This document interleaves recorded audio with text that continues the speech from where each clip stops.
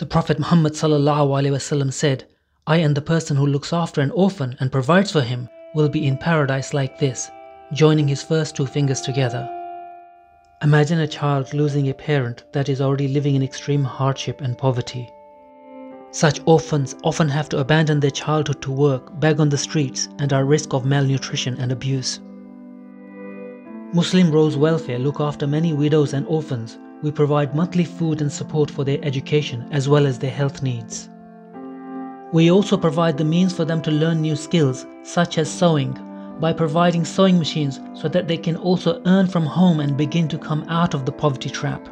Please give these vulnerable orphans the support, love and care they need to survive and thrive.